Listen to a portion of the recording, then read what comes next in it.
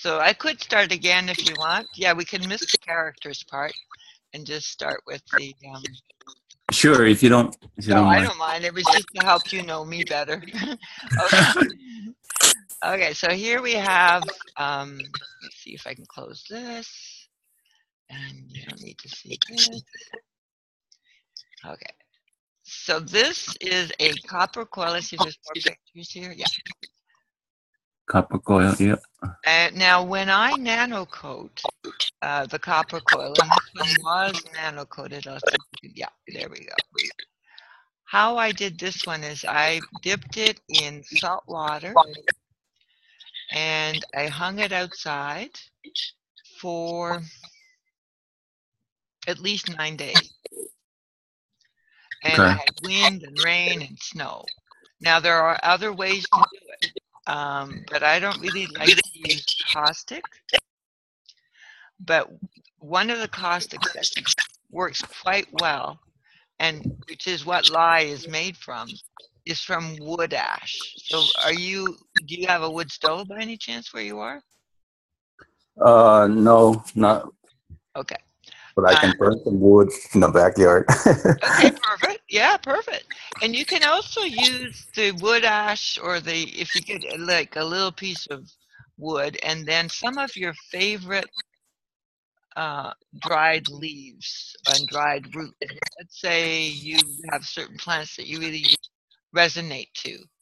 Um, if you're not in a hurry, um, then you can burn. Like I have geranium leaves that dry up and fall, and I always keep them.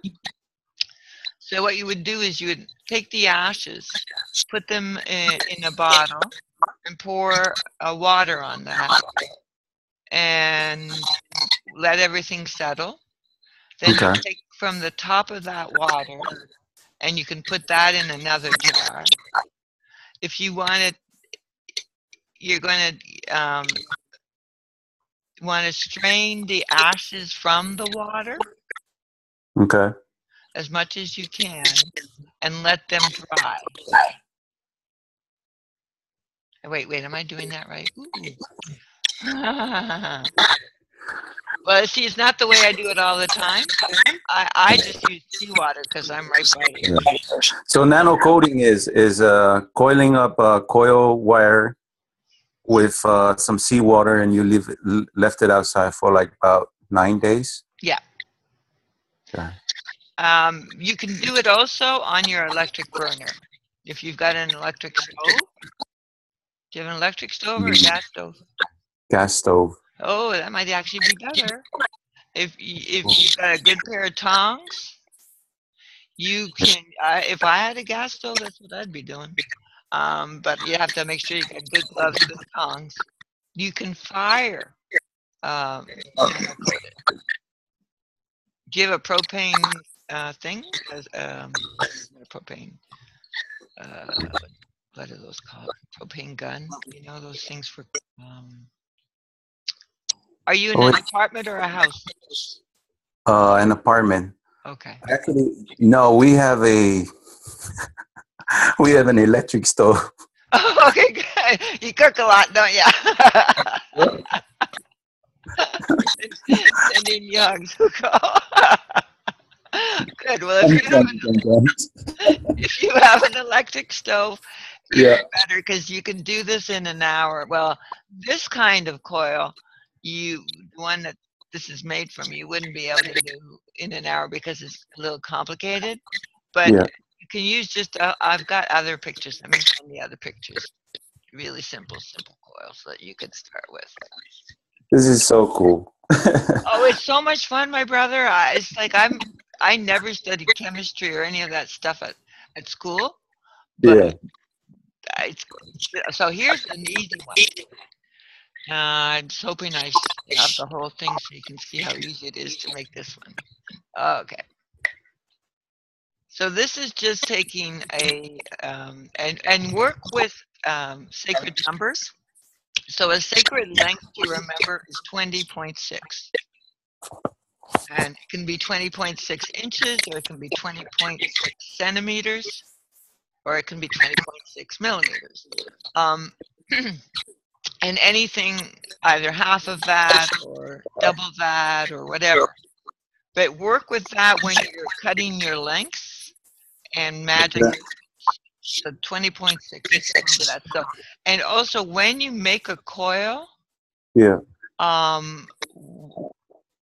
on a 12 inch long uh, copper coil, you can make 12 coils. So each coil is about an inch in diameter, Okay. and like it takes up. So know that when you're doing your straight pin, you're always going to have a central stylus, they call it, or lead pin, pin this one. See that? I'm Yeah. hoping there's another picture I can show you better. Yeah, okay. So that's your lead pin. And at the top, you're going to curve it around like a um, shepherd's hook. Do you know what I mean by a shepherd's hook? No. Uh, okay, like a question mark or uh, or an S curve. Okay. Uh, I, I will see if I have some pictures that will actually show you that. Let's see. Let's see. Is there anyone? Uh, this is an experiment that went wild. But see this. See how dark this. This is called I see you have a lot of fun with it. Oh yeah, man. It's, well, you know, I I'm on my own here, so I am my chief entertainment and explorer.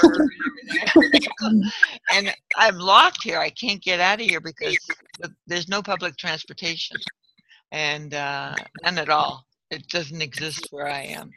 So I, oh. I'm totally dependent on people. Although I've put out to the university, I'd really like to have a good bicycle. That, uh, mind you, there's big hills. You don't want to ride your bike on my highway because, uh, anyway, blah, blah. It will. It, it's good for being isolated. Let me see if I can. Find it. Uh, oh well, there's a good picture of that extra coil there. So just, you can get adventurous. Um, and I have not tried to burn this on the stove, but I don't see why this wouldn't burn any better than this. You know, so you Mhm. can try it if you wanted to get fancy. But where is an easy one to show you? So do you burn it before you um you put it in the uh, salt water? Uh, only if that. Yes, you would. Um, there's kind of like a shepherd's hook there, but uh, trying to see if I can get past what is here.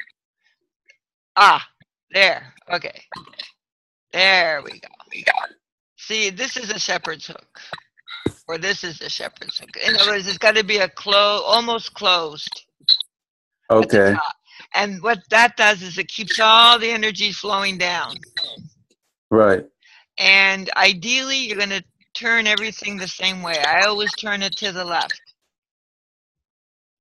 which is known as anti-clockwise. But I hear different stories from different mentors and, and knowledge seekers, and they do it many different ways. Normally, it's to the left because you want it to be grand, uh, anti-clockwise. So it's because that's gravitational. Okay. and you're you're trying to pull this energy in to heal yourself or to create and the the other one will automatically become magnetical. The outer one will always be magnetical and the inner one will be gravitational. That's just the way it works. Just keep always wind them the same way whichever way you decide to wind them just wind them the same way and then don't worry about it because it is so much fun. They will teach you. If you listen carefully, they'll start to give you ideas. Um, so I'll pull back on this and show you. This is silver. This beautiful color in here. This is very thick silver. I used to make silver jewelry. So this is actually like a really good quality silver. Whereas over here, this was what's called silver wire and it was silver plated. And I guessed, and I think I'm pretty guessing, guessed right, that it would be plated on um, zinc. Now, and why I guess that is because zinc um, is very, very fluffy like this and has a gray this is GANS that's being created. It's very fluffy. and it likes to float. Yeah, I see that. Yeah. And uh, these I just did maybe three or four days ago. So you see, it doesn't take long Wow. for it to happen. And these two ends, I burned. I burned on my electric stove. And when I say burned, you have to be careful not to burn them actually. You want to move them around. You can Right. do two or three of them at the same time. Um, this is probably 16 or 18 gauge wire, which is a lot easier on the hands than 14 gauge. And you can get that at Home Hardware or um, Home Depot. Yeah. Just try not to get, a lot of the stuff is covered with kind of little plasticky material that uh, will eventually nanocoat, but it usually delays the nanocoating process. So if it means you have to take it out of an insulation, it pretty much guarantees you that it's not going to be covered with anything. You know what I mean? Uh, no. Okay. I understand. I didn't know anything about copper wire until I started. That's the why best I'm source? glad you're recording this, so I'll, I'll go over it again. No problem. Um, um, the best place to get copper wire is um, electric a, a store a store that sells electrical supplies. Yeah, we have a, a couple here. Cool, because you will find that if you get um, oh, what is it? Well, you're probably stronger than me, and I love working with 14. So maybe the best place for you to start is with 14 gauge wire, and you can get 10, 30 feet of it, or Okay. 30 meters rather, or wait, 10, 10 meters, great, 10 meters for, oh yeah, you're in the States, sorry. Um, yeah, 30 feet of it for about $25 up in Canada. And it's electrical wire. You get 14 times 3. Uh, and 14 is the gauge. And it says there's three wires but you'll find there's actually four. So that gives you lots of wire if you have an extra 25 bucks. It, Yeah. it, it kept me going for a long, long time. I'll probably make something small to start with. Yeah, yeah, you could do that. Now, if you go to Home Depot, they will sell um, rolls of 18 gauge wire and 20 gauge wire. And Yeah. start there to see what happens. Be be adventurous. Yeah. Jump in and you will be amazed. Uh, so there's that wire with, and you see, it's not that complicated to make the extra uh, coil. I use a knitting needle. Use a um, um, a pair of uh, what is that? Oh, a screwdriver, a long handled, uh, long, uh, not handled, but know the length of the screwdriver. Yeah. They're really, really good to make your coil. I think that's it on the test tube. Uh, let's see what else I have. Oh, now I'm, oops, not there. Oops, sorry, sorry, not there. um, coming back. I did want to talk about. Um, yeah. It's makes me so happy because whoops,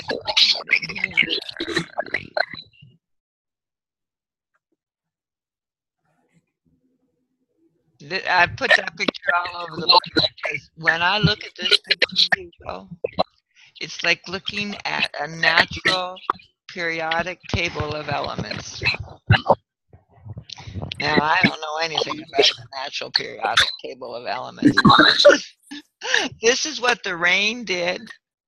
And Yeah. after this coil had been outside for about five days.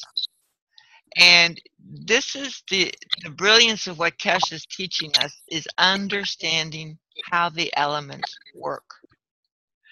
And everything goes in a circular or spiral or spherical way. In nature, there are really no straight lines. So if you can remember that, then the way those drops stayed, now those drops stayed on that spiral for mm, maybe three or four days. And then it got really cold and they froze on there. Yeah, that looks pretty cool on it. Yeah, but they're not ice. Not they're not ice. They're close to it, but they're not there. And one of the things, uh, it just blows me away. When I see it, I go into bliss. Oh! So every little drop of water I see now just sends me into a realm that I'm happy to go to. Um, so I'm going to stop that share, but I just want to remind you, remember spherical. And um, then I'll go to the reactor so you can see how easy it is to make reactors. Yeah, I can certainly do that. okay, so that's, uh, no, I gotta go to share screen. Share screen. I happen to really like vector equilibriums. And I'm not saying you use them, but they really turn my crank. um, and I'm trying to make something that I don't need to plug in that will plug into nature. This is probably this was the first little one I ever made. Um, so you see, you make coils, double coils. Do you know how to do that? Do you know the numbers? Do you want me to teach you? I forget. I won't tell you about the vector equilibriums until you played for a while. But okay, here's a simple one. And it was too big to fit properly, but you can squeeze and play with them. Um, Keshe does not pay attention to the spirals. I think he's Mhm. missing out on something because one of the things I noticed about the uh, uh, copper is that when you make them into spirals, they amplify everything. So just remember that this is okay. We eh, around, around, around, around, around, around. Ah, oh, and the animals love the stuff. They just love this stuff. They're always around.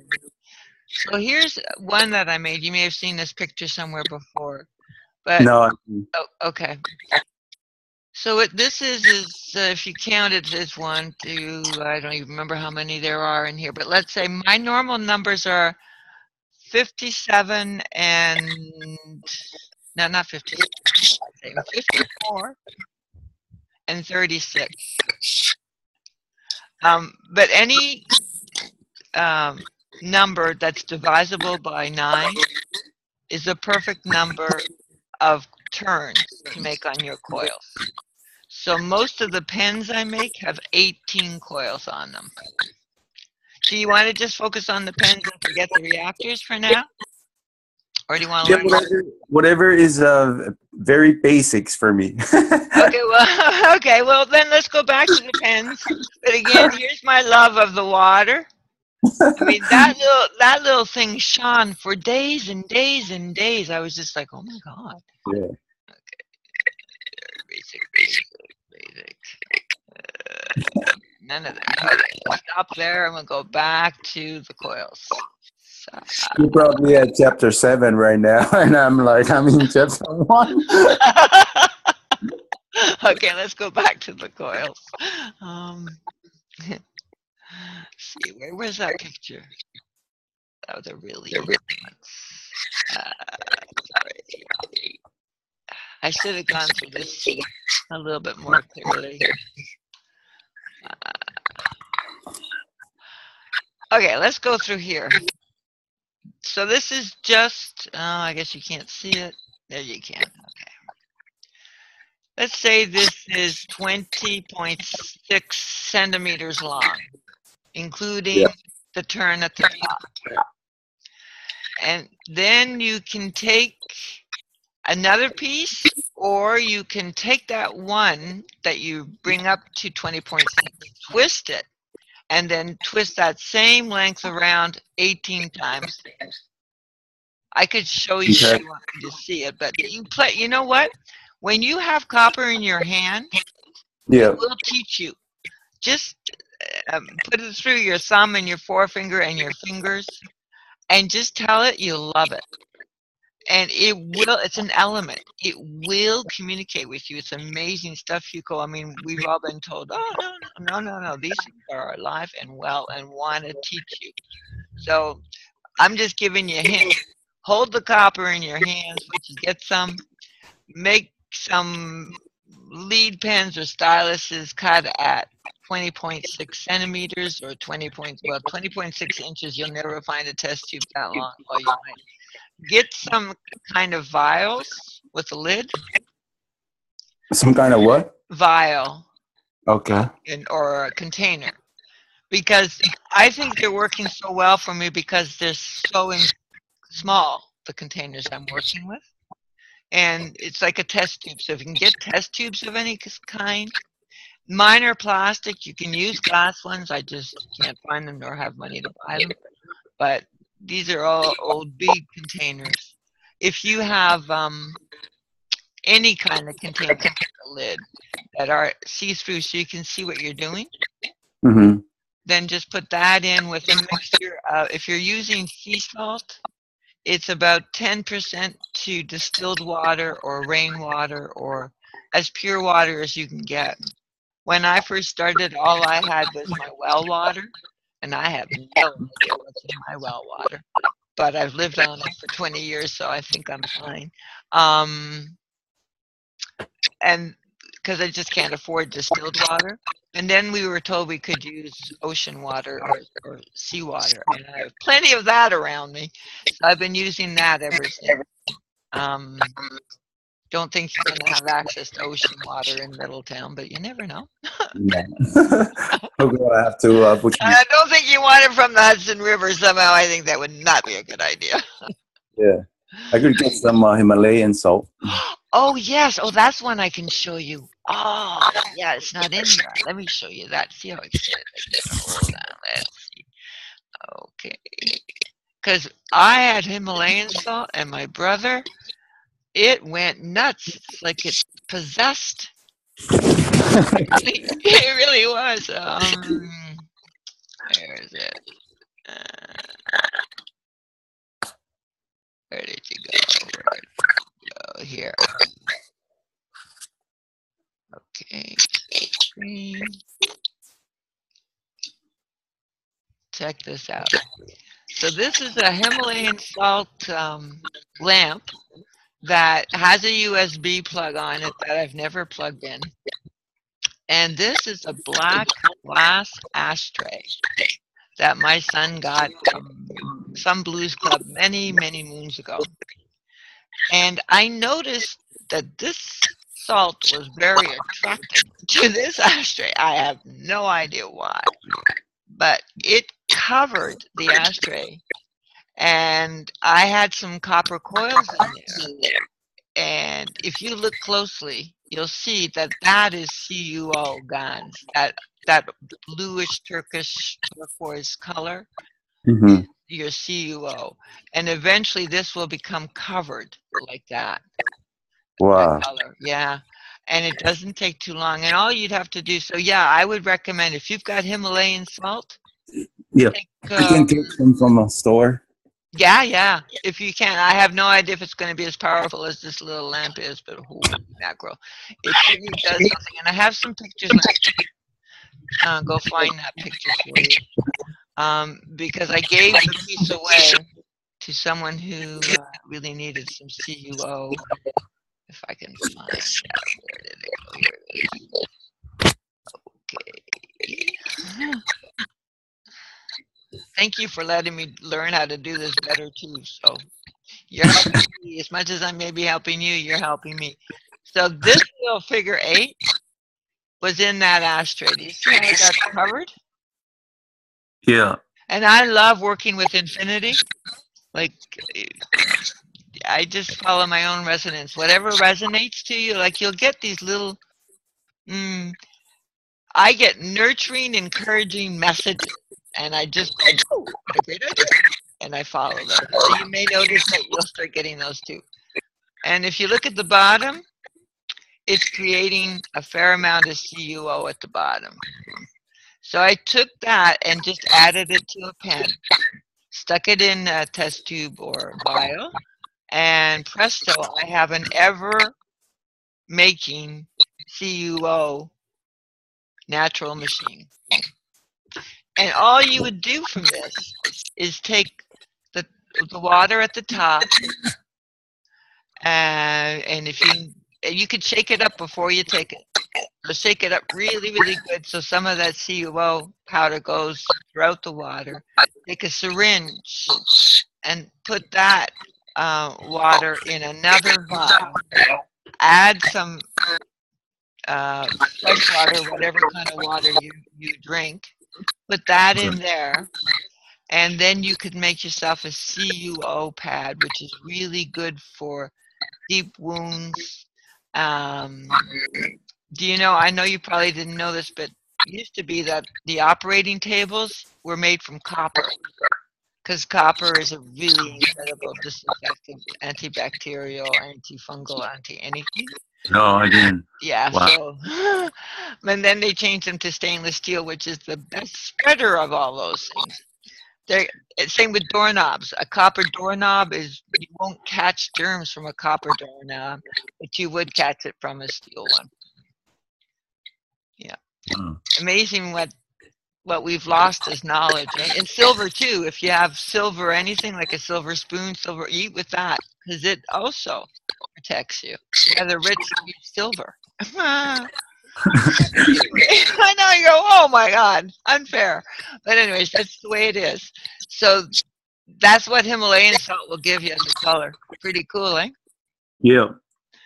And so if you have some of that, now to make the CuO, I mean the CO2, I, I believe Himas- Himalayan salt will give you um, CO2 as well. But you got to make sure you got some really pure zinc. I didn't add any zinc to this. So to make CuO, you need nano-coated copper plus copper. To make uh, CO2, you need nano-coated copper plus zinc. Okay.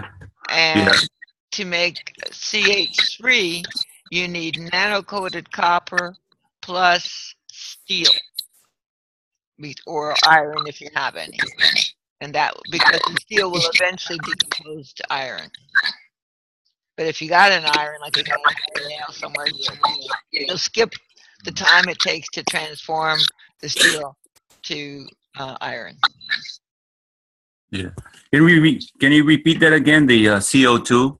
Yeah, the CO2, it takes a nano coated, which means either burnt nature wise or with wood ash or with uh, um, your electric stove or with fire. Um, Right. So you got that nano coated pen, Yeah. and then you would need um, a zinc wire either wrapped around the stylus Okay. um, and and try to get the leads like try to always keep them connected somehow so if you're when you're making your coils don't make them so tight that you wouldn't be able to feed a piece of metal uh, like uh, zinc or silver or whatever it is you might want to investigate Okay. up right up the middle of it Oh, I see. you know what i mean okay Yeah. like if i can show you again nope not there Oh, that was that silica cell. Isn't that amazing? That blew me away when that thing grew in there. I was like, holy mackerel, I created life. So this reddish color is the CH3. And the CH3 is from the what is it again? That's from uh, nano-coated copper and iron. And iron, Iron. yeah. copper, and iron. Through this. Oh, just to show you how harmless CO2 is. The moths love it. Oh, they just love it. The moss. moths, the butterflies, night Oh, butterflies. yeah. Yeah. It's that picture there. Um, sorry, how come it's in here? I, I'm gonna stop share. What am I looking for again? Uh, oh yeah, I remember. Sorry. too many pictures. I do like taking pictures. It's kind of my only way of recording things. Yeah, yeah, absolutely. Yeah. Oh, here they are. Uh,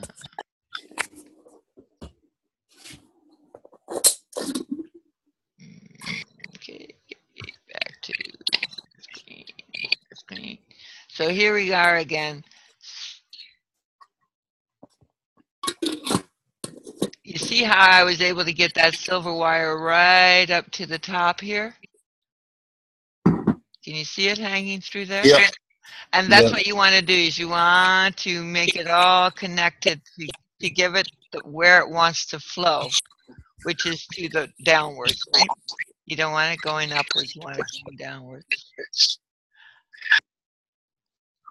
Now I gave a bottle of one of these to a friend of mine because she's got really bad pain. And if I gave him this bottle, I didn't give this one, I'm giving him another one. It should help him relieve the pain just by putting the whole bottle over his belly, not the contents, just holding the bottle, believe it or not. So, Okay. yeah. Did you see how you do it? You just wrap it and wrap it and wrap it. You see how it goes from um, anti-clockwise. Anti, yeah, to the left. Yeah. yeah. It's not hard. That's what I recommend you start with because then you go, oh my goodness. And remember, they're alive. They, they, they hear you, they understand your thoughts. At some point, they make themselves visible to you in ways that you won't imagine. And I'm having a gas what I'm learning. What do you mean? I'm going to be able to see some coast? No, not ghosts. Uh, more like little light, little, little round light spheres. No, no, no, no ghosts at all. Eh, Well, here's the thing. This is a really, really important thing. You're working with very powerful energies that are just a reflection of your soul, your own soul. So nano copper and zinc wire in that one right there, it creates CO2. Yeah. And CO2, what is? And you said that's the energy giver. Uh, No, that's CH3. CH3 gives you energy. Oh, okay. Um, but CO2 is actually calms you. Um, it settles your emotions okay. Calm. and and it takes pain away. Ah, Yeah. like healing. No, really fast. It, it's quite cold to the touch at first. If you make yourself a CO2 pain pad, just from taking some of the water Yeah. at the top out, diluting that, putting it on a piece of paper towel, putting that in a uh, a, a freeze uh, yeah, a Ziploc bag. Take the Mhm. air out and put that. Make two of them. Put one on the front and the back of an area that's in pain. It's Yeah. gone. It's amazing, and you can sleep with that. Wow. Yeah, I used to have sciatic nerve problems on my lower left side that would really, I mean, would cripple me. And um, when I started doing this, like I haven't had that pain ever since. Now, the best part though, Hugo, is that we don't need any of this. You can do it all in your mind. And why I say that is because I hadn't done any of this before. And I had a really, really bad impacted tooth and jaw issue going on in my head. And I simply imagined I had a copper plate in my left hand and a zinc plate in my right hand. And that I put myself in alignment with the nitrogen and the hydrogen elements out here in the air. Right. And I said to myself, well, I'm in alignment, so all my pain should be gone. And it was. That was all my imagination and my focus. So just to let you know, Beautiful. Yeah. this is just to remind us of our own power. That's why if we think evil thoughts, these things will mess with your head like you will not believe. And they will amplify your evil mm-hmm. thoughts. or they will, well, in other words, you will destroy yourself. And which is because you're too full of evil thoughts. Right. And so it's kind of like a little good hello, where you going? A little wake up call. It's your soul communicating through the elements that are here. And from from what I know about you, Hugo, you've got one beautiful soul. You'll have no fear of your soul. You. And your soul, it's it's it's just you're communicating with that aspect of you that's always known everything. And we've been manipulated and programmed to believe pieces of garbage and worth nothing. And we know that's farthest from the truth. But it's so well indoctrinated and programmed in us that it's easy to forget that we are incredible beings. So these elements are here to help you remember that. And basically, we don't need them, but because we're so far behind in the whole garbage with borders, names, and everything else, um, Yeah. this is like a little kickstart from Mama Earth and Papa Sun and all that really does exist to remind humanity who we are. And these little experiments just show you. I mean, we never see this stuff in the air, but it's there. And now we know how to create it. And then we realize we don't need it. okay. I think for me, right here, for the recording purposes and Yeah. going back and learn, uh, it might be Enough. enough for me. okay, I'm going to stop.